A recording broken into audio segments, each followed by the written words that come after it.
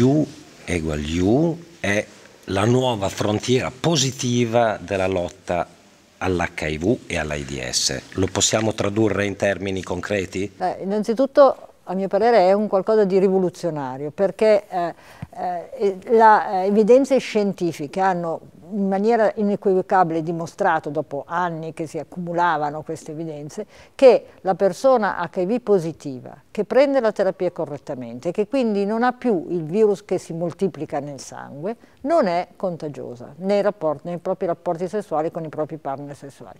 Il che vuol dire che la persona HIV positiva non si sente più lo stigma di oddio sto attento perché nel rapporto sessuale con una persona che viene negativa rischio di infettarlo, il preservativo, le, le attenzioni eccetera eccetera. È una persona che è una persona normale, uguale a tutti gli altri, che può avere sue, i suoi rapporti sessuali senza avere questa paura di infettare e quindi eh, questo è un messaggio anche per tutte le persone che non sanno se sono sieropositive o no di fare il test perché fare il test non vuol dire che si entra in un circolo vizioso di, mh, eh, e sentirsi responsabili di contagiare gli altri. Anzi, fare il test vuol dire prevenire per la propria salute ma prevenire anche la salute dei propri partner sessuali perché appunto prendendo la terapia non li si infetta più. Quindi questo è direi fondamentale.